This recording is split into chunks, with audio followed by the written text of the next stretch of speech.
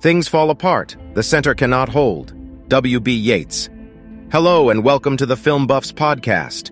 On this episode, I will be heading below the surface of the Earth to review a creepy little dystopian film that very well may have slipped under your radar.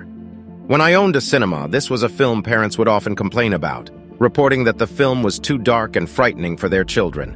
Like the penguins from Madagascar, I'd just... Just smile and wave, boys. Smile and wave. What else could I do?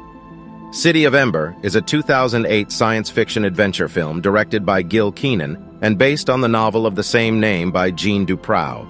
The movie stars Saoirse Ronan, Harry Treadaway, Bill Murray, and Tim Robbins, and was produced by Walden Media and Playtone. One of the most notable aspects of the film is its unique and immersive production design. The filmmakers worked hard to create the illusion of the underground city. In the end, the best way to achieve this was to build it from scratch, complete with detailed sets and props that helped bring the story's setting to life. The City of Ember was designed to be a mix of industrial and futuristic elements, with a distinct steampunk vibe. The production design team also paid close attention to lighting and color, using warm, muted tones to convey the city's decay and darkness. Another interesting aspect of the film's production is the use of practical effects. Rather than relying solely on CGI, the filmmakers opted to use practical effects whenever possible. For example, the giant mole creature that Lina and Doon encounter in the film was created using a combination of animatronics and puppetry, giving the creature a lifelike quality that would have been difficult to achieve using only computer-generated imagery. The film's cast also deserves recognition for their excellent performances.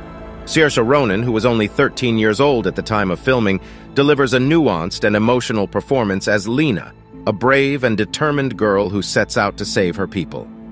Harry Treadaway, who plays Doon, Lina's friend and partner in their quest, also delivers a standout performance, bringing both intelligence and heart to the role.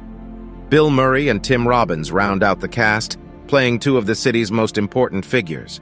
Murray plays the corrupt mayor of the city, while Robbins plays Lina's inventor father. Both actors bring depth and complexity to their roles, helping to ground the film's fantastical elements in a sense of reality. In terms of its storyline, City of Ember is a gripping and suspenseful adventure that will keep viewers on the edge of their seats.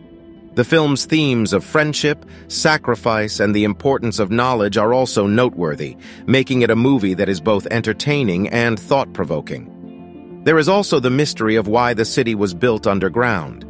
Hints are given to why it exists, but the audience is only ever given small insights as to why.